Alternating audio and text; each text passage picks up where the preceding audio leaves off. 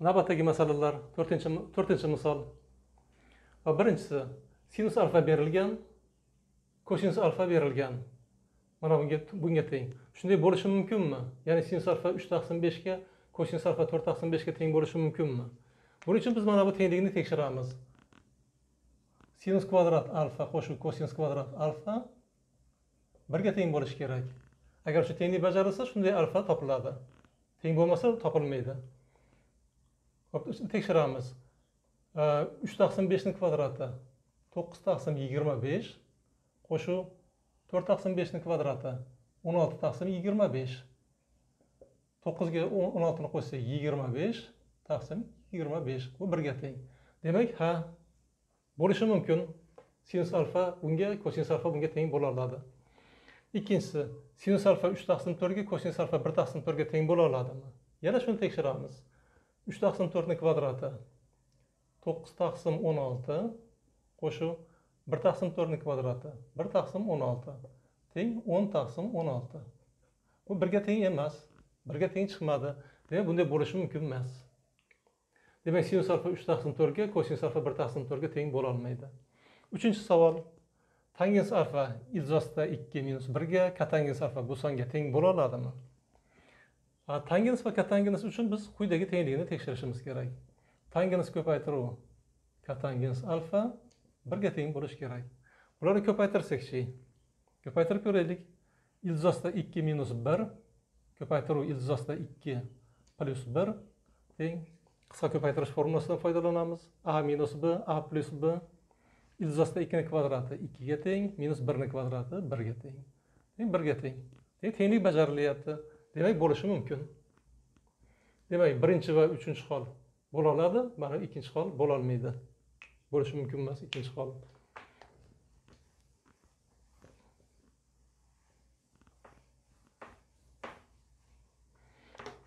Ho'p navbatdagi misol. Beshinchi misol.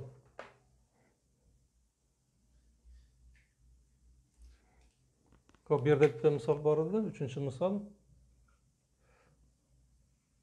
Tangens alfa teng ikki butun o'ndan to'rt. Bu yerda pi taqsim ikkidan.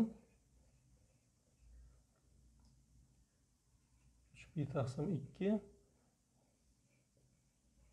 kotangens alfa sinus alfa va kosinus alfalarni toping. Endi mana beshinchi misolga o'tamiz. Birinchisi sinus alfa berilgan va alfa ikkinchi chorak burchagi ekani ham berilgan. U holda kosinus alfa tangens alfa va katangens alfalarni toping hop kosinus alfani topishdan boshlaymiz buning uchun biz mana bu tenglikdan foydalanamiz kosinus kvadrat alfa teng bir minus sinus kvadrat alfaga sinus berilgan nol butun o'ndan sakkiz olib borib qo'yamiz. Bir minus nol butun o'ndan sakkizni kvadrati bir minus nol butun yuzdan oltmish to'rt nol butun yuzdan o'ttiz olti. Ildiz chiqaramiz. Kosinus alfa teng bu yerda ikkita hol bo'lishi mumkin bittasi minus nol butun o'ndan olti yoki kosinus alfa teng plyus nol butun o'ndan olti qaysi birini olamiz buning uchun mana bu shartga qaraymiz alfa ikkinchi chorak burchagi kosinus esga olamiz kosinusni ishoralari kosinus birinchi va to'rtinchi chorakda musbat ikkinchi va uchinchi chorakda manfiy demak ikkinchi chorakda kosinus manfiy bo'lishi kerak demak mana buni mana bu to'g'ri ekan. Demak bu bajarilmas ekan. Demak kosinus alfani qiymati minus nol butun o'ndan oltiga teng ekan. Hop kosinus alfani topdik. Endi tangens alfani qiymatini topamiz. Tangensni topish uchun sinus alfa bo'luv kosinus alfa tengligidan foydalanamiz. Bu ham teng. Sinus alfa nol butun o'ndan sakkizga teng. Kosinus alfa. Mana yuqorida topdik. Minus nol butun o'ndan olti. Va soddalashtirsak teng. Minus oldinga chiqarib yozamiz. Sakkiz taqsim olti. Yoki minus to'rt taqsim uch. Demak tangens alfa minus to'rt taqsim uchga teng ekan. Endi katangens alfani topish uchun shuni teskarisini olamiz.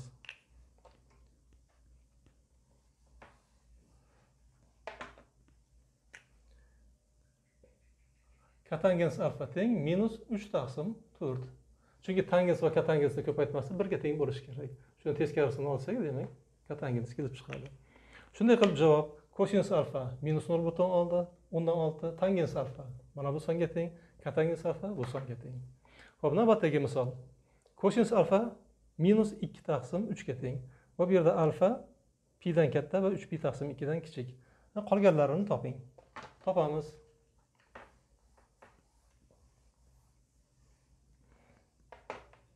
Endi bu yerda kosinus alfa berilgan. Yana ana shu tenglikdan foydalanamiz.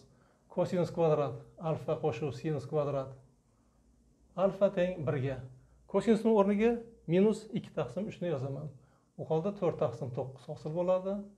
Qo'shuv sinus kvadrat alfa teng bir. Bu yerdan sinusni topaman. Dastlab sinus kvadrat alfani topamiz. Uni o'tkazadigan bo'lsak bir minus to'rt taqsim to'qqiz besh taqsim to'qqiz. Bu yerda ham sinusni ikkita qiymatini hosil qilamiz. Izzosida besh taqsim uch yoki minus izzosida besh taqsim uch. Qaysi birini olamiz? Musbatinimi yoki manfiysinimi yana oraliqqa qaraymiz. Bu pidan katta uch pidan uch pi taqsim ikkidan kichik. Bu degani to'rtinchi chorak degani. Alfa demak to'rtinchi chorak burchagi ekan. Sinus to'rtinchi chorakda manfiy bo'ladi demak mana bunga teng bo'lmas ekan. Demak sinus minus izzosida besh taqsim ikkiga teng ekan. Sinusni topdik. Endi tangensni topamiz.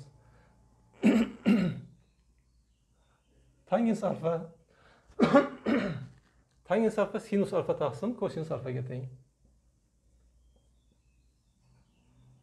Sinus alfa mana bunga teng. Minus izzosida besh taqsim uch bo'luv kosinus alfa minus ikki taqsim uch. Bu ham teng minusga minus plyus bo'ladi uchlar qisqarib ketadi. Ildizosida besh taqsim ikkiga teng. Hop tangensni topdik. Endi bularni bilgan holda katangensini topish qiyin emas.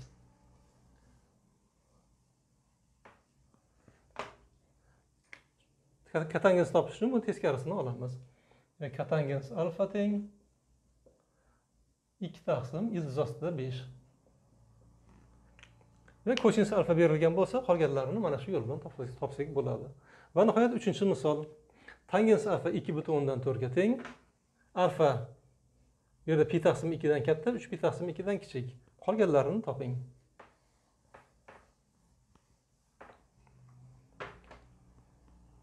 Hop bu yerda tangens alfa musbat lekin bu yerda alfa pi taqsim ikkidan katta uch pi taqsim ikkidan kichik. Bu degani pi taqsim ikki bilan uch pi taqsim ikki orasida. Yoki ikkinchi chorak yoki uchinchi chorak. Lekin tangens musbat bo'lganligi sababli tangens uchinchi va birinchi choraklarda musbat. Demak alfa uchinchi chorak bo'lishi kerak ekan. Demak alfa uchinchi chorak burchagi. Bu yerda alfani yana ham aniqlab oldik. Pi taqsim ikkidan katta uch pi taqsim ikkidan kichik deyilgan edi demak musbatligidan biz uchinchi chorak ekanligini aniqlab oldik. Ho'p alfa uchinchi chorak ekan demak bu yerda pi taqsim ikkini o'zgartirib qo'yishim mumkin. Pi taqsim ikkini o'rniga pi yozaman. Demak alfa pi bilan uch pi taqsim ikki orasida ekan. Endi qolganlarini topamiz. Tangens alfani. Mana bunday yozishimiz mumkin. Ikki butun o'ndan to'rtni demak yigirma to'rt taqsim o'n bu ham teng. O'n ikki taqsim besh. Mana bunday yozishimiz mumkin. Ho'p katangens alfani topish uchun uni teskarisini olamiz. Katangiz alfa teng besh taqsim o'n ikki. Teskarisini olsak demak katangiz kelib chiqadi. Hop sinus bilan tangens bilan katangens demak ma'lum. Endi sinus va kosinuslarni topamiz. Mana bunday formuladan foydalanamiz. Demak bir qo'shuv tangens kvadrat alfa teng bir taqsim kosinus kvadrat alfa. Mana bunday formula bor edi. Shundan foydalanamiz. Bundan e, tangensni o'rniga o'n ikki taqsim beshni qo'ysak bir qo'shuv o'n ikki taqsim beshning kvadrati o'n ikkini kvadrati bir yuz qirq to'rt beshni kvadrati yigirma besh teng bir taqsim kosinus kvadrat alfa. Va mana buni soddalashtiramiz. Bu teng yigirma besh qo'shib bir yuz qirq to'rt bir yuz oltmish to'qqiz taqsim yigirma besh.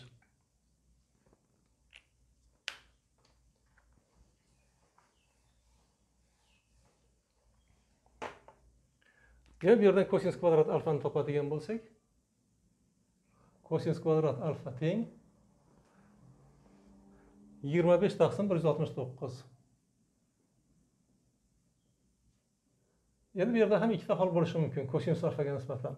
Kosinus alfa yoki besh taqsim o'n uch buni ildiz chiqarsak besh taqsim o'n uch bo'ladi yoki minus besh taqsim o'n uch. Qaysi biri bo'ladi? Alfa uchinchi chorak burchagi edi.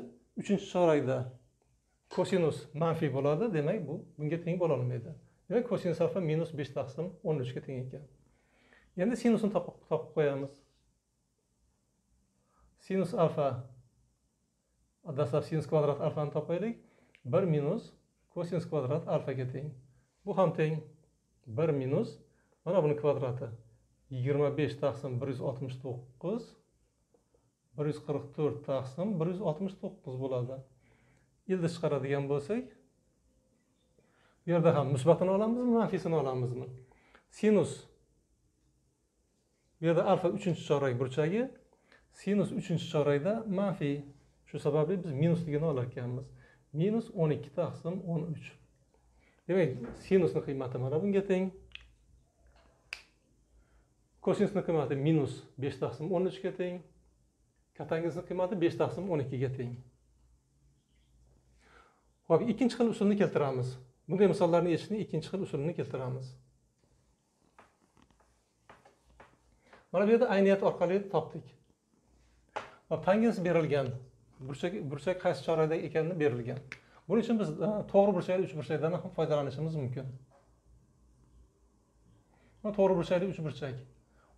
Tangens alfa. Birorta o'tkir burchakni alfa deb yozaman.